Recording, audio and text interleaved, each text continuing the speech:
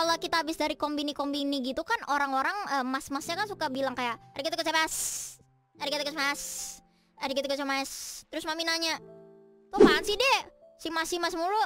Arigatou gozaimasu. Cuman ngomongnya cepet. Jadi eh, kedengeran kurang jelas, tapi tuh ngomong terima kasih arigatou gozaimasu gitu.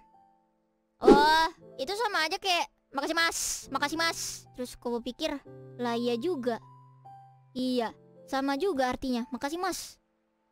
Cuman lebih cepat. Jadi mami sejak itu di kombini.